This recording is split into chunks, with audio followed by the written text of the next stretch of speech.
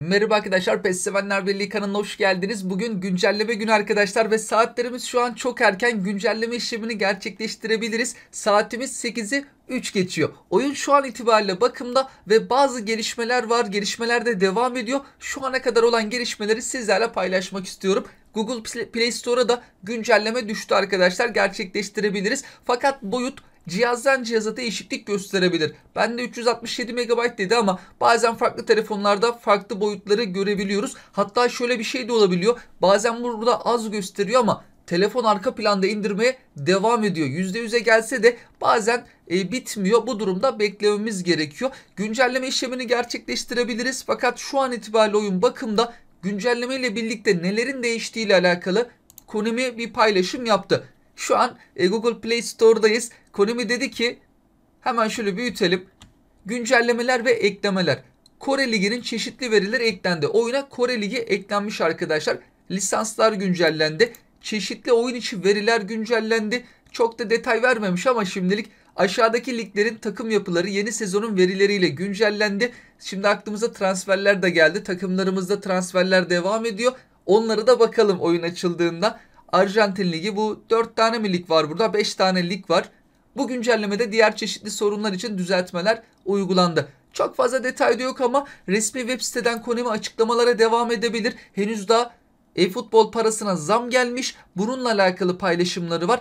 E, bilgisayarda oynuyorsak Steam'de Windows 10, Xbox, Xbox'ın diğer sürümüyle alakalı zam paylaşımları var. Mesela Steam'de bizim ülke yok. Ukrayna, Meksika. Burada Windows 10 paylaşımı var. Burada bizim ülke var. Microsoft Store üzerinden alım yapacaksak Microsoft Store'da zam yapılmış ya da Xbox'ta oyun oynuyorsak Arjantin, Türkiye, Meksika yine zam yapılmış. Microsoft Store'dan alımlar yapılıyorsa buralardan alım yapan arkadaşlarımız varsa ne yazık ki futbol parasına zam geldi arkadaşlar. Ama mobilde herhangi bir zam yok. Steam'de herhangi bir zam yok. PlayStation içinde herhangi bir zam paylaşılmadı. Oyunla alakalı gelişmelere devam edince oyunun logosu değişti. Şimdi e, geçen sene bu zamanlarda da e, karnaval kampanyası gelmişti arkadaşlar. E, herkese gelmişti. Brezilyalılara özel olmamıştı. Yine herkese özel bir hediye hediyeler kampanyalar olacaktır. Sonrasında Çinliler özel yılbaşı. Geçtiğimiz haftalarda 2023 senesinde sırayla gelen hediyelerle alakalı paylaşım yapmıştım ya arkadaşlar. Aynı devam ediyor. Karnaval, Çin yılı sonra Mart, Nisan'daki diğer kampanyalarla ama kampanya ne olacak şimdilik açıklama yok. Hediyeler henüz daha paylaşılmadı. Buraya geldiğimiz zaman da bir önceki videomuzda değinmiştik ama belki izlemeyen arkadaşlarımız olabilir. Güncelleme günlerinde oyuna yeni epikler ekleniyor. Bugün de Konami ekledi ve sızan bilgiler arkadaşlar bunlar. Bu isimlerin epik kartları. Bazıları oyunda vardı. Farklı kartlar oyuna eklendi. Yepyeni epikler var. Mesela Roberto Baggio. Ben çok severim. Futbolcunun o son serilerine de denk gelmiştim. İz, ekran karşısında izleme şansı da bulmuştuk. Kendine az e, saç stilleriyle kendine az bir futbolu vardı. Tabii kaçırdığı penaltıyla akıllara gelebiliyor ama bambaşka bir futbolcuydu. Ben çok severdim. Oyun eklenmesine de ayrı bir mutlu oldum. Bir de arkadaşlar Barcelona epikleri gelmişti ya Arujo De Jong gibi. Bayern Münih epikleri gelmişti geçen hafta. Alfonso Davies, Kimmich gibi. Aynı onun gibi yine başka takımlardan da epik futbolcular gelecekmiş. Bu epikler geldiğinde Konami mağazaya oyuncu ekliyordu. Bence bunlar yine geldiği zaman ileride United, Milan, Inter takımlarıyla alakalı e-futbol mağazasına da birer tane futbolcu Konami ekleyebilir. Öyle yapar diye düşünüyorum. Manchester United'dan kimlerin epik kartları gelecekmiş?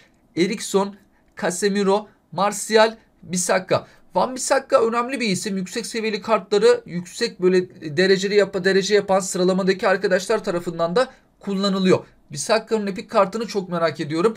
Milan takımında Giroud, Calabria, Rafael Lau ve Tomori. Inter takımında ise Mkhitaryan, Defray, milli futbolcumuz Hakan Çalhanoğlu, Lautaro Martinez.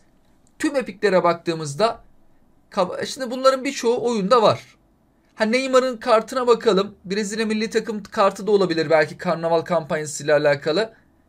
Burada yeni isim Roberto Baggio. E diğerleri zaten oyunda vardı. E bir de United, Inter, Milan takımlarına ait kartları da görüyoruz. Şimdilik sızanlar bunlar arkadaşlar. Detaylar geldikçe ben de sizlerle paylaşmaya çalışacağım. Sizler de yorumlarınızı, görüşlerinizi bizlerle paylaşabilirsiniz. Oyun açıldıktan sonra da oyunda neler var neler yok onları da inceleyeceğiz. Şu an son kez bir daha bakalım.